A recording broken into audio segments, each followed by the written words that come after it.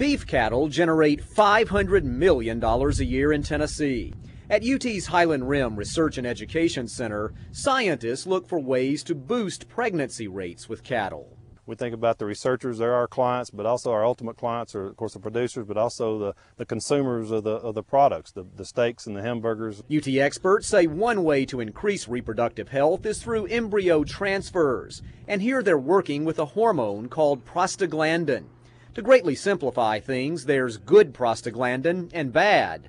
Obviously, researchers want to keep one and eliminate the other. Basically, the embryo, the early embryo, has receptors for prostaglandin, and what happens is the prostaglandin will bind to those receptors and cause the embryo to be developmentally retarded.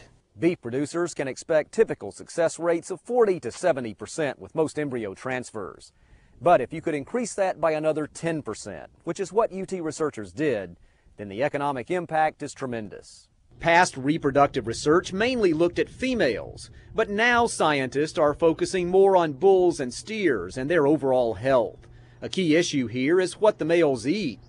Kentucky 31 is a type of grass that's common statewide, but it can contain toxins that reduce the fertility of bulls.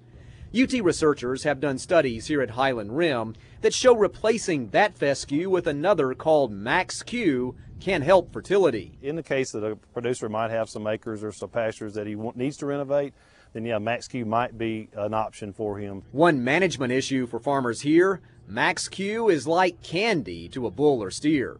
The uh, thing we have to caution producers on, it's going to require more management because cattle love to eat this. They don't particularly like to eat Kentucky 31 infected fescue. So our data indicates that uh, you need to plan on those cattle consuming about 25% more. Whether through embryo transfers or a carefully monitored diet, like many aspects of agriculture, beef production is changing with technology. It would seem the days of just turning cattle loose and letting them graze are long gone. This is Chuck Denney reporting.